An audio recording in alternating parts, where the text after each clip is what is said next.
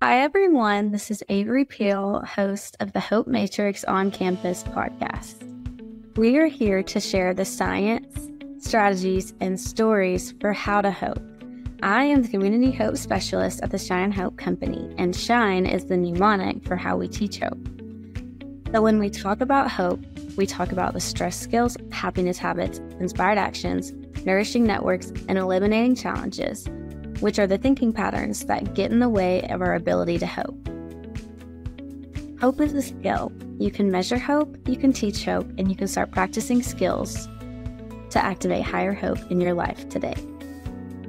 And on this Hope Matrix on Campus podcast, we aim to bring in guests, experts in science, people with stories, and those that have strategies for activating hope in your life.